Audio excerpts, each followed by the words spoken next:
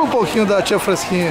A tia Frasquinha eu conheci em várias oportunidades, reuniões, mas acima de tudo eu conheci pessoas que foram atingidas pela graça de Deus através, através da tia Fransquinha, né? todo o trabalho dela, missionário, seja como SOS de Deus, seja como aconselhamento, ministrando cura, né? libertação a muitas pessoas, aconselhando e levando e trazendo para Deus muitas pessoas. Então, tia Fransquinha, para nós, é um grande exemplo de vida doada e que toda a sua vida é um testemunho da graça de Deus e inclusive na sua morte, por tudo que nós vimos e ouvimos, também é um testemunho da ação de Deus que não abandona os seus queridos. Então, Obrigado. Tia Frasquinha, interceda por nós. Obrigado, vereador.